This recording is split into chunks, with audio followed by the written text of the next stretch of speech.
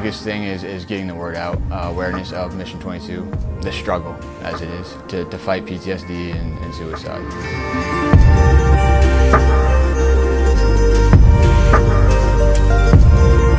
Uh, my name is Corey Decker. Uh, I'm the state representative for Mission 22. This year's been great. We got a bunch of great guys that have gotten together and decided to create this rally.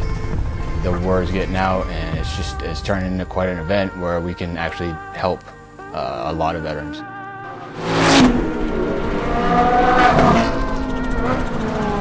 It's a great event, but it's you- really have to go and see it for yourself, and, and it's really one of those things that's an experience. That just going that weekend, we've seen how it, it changes people.